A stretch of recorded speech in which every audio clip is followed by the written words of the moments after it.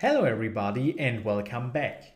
In this lecture series, we are going to create, train and evaluate the cardiac detection model. At the end of this unit, you will have a network capable of accurately predicting the position of the heart in X-ray images. Before starting, let's briefly discuss the necessary libraries. We use Torch and Torch Vision for model and data loader creation, PyTorch Lightning to handle the training, the model checkpoint callback and the TensorBoard logger for checkpoint saving and logging, NumPy for data loading, CV2 for visualization purposes, the augmenters library from imgaug for our augmentation pipeline, and last but not least, our cardiac dataset. At first, we should define the paths to the X-ray images and corresponding patient IDs. Let's create a variable called train underscore root path, which takes the path to the train images. In my case, this is simply processed heart detection slash train. The train subjects are also stored in this directory as train subjects.npy. Additionally, we define the validation root path, which is simply processed heart detection slash val. Last but not least, we define the path to the validation subjects. They are stored in the same directory in the file val underscore subjects.npy. Now we can define our augmentation pipeline and store it in a variable called train underscore transforms.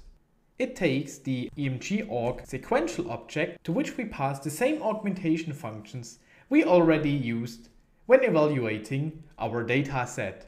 This included random contrast changes and random affine operations. In fact, we use random scalings from 0.8 to 1.2, random rotations from minus 10 to 10 degrees, and random translations from minus 10 to 10 pixels.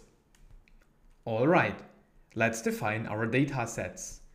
We start with the train data set, which takes our cardiac data set object, to which we pass at first the path to the label CSV file, which is in my case simply the file name as I'm working in the same directory. Next, our train subjects, the train root path. And last but not least, our training augmentation pipeline.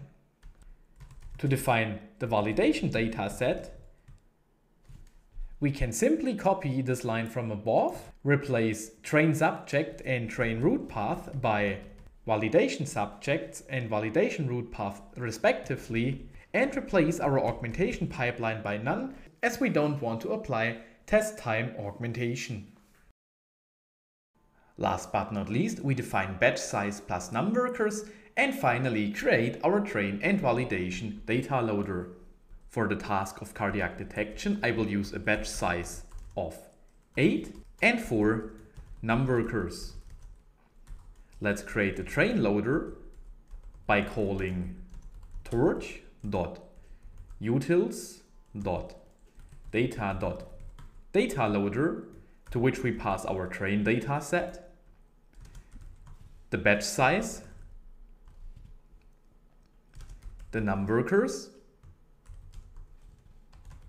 and set shuffle to true. Again, when defining our validation loader, we simply copy the line from above, replace train dataset by val dataset and set shuffle to false. Cool! Our data loading routine is complete. In the next lecture, we will create the cardiac detection model. Thanks!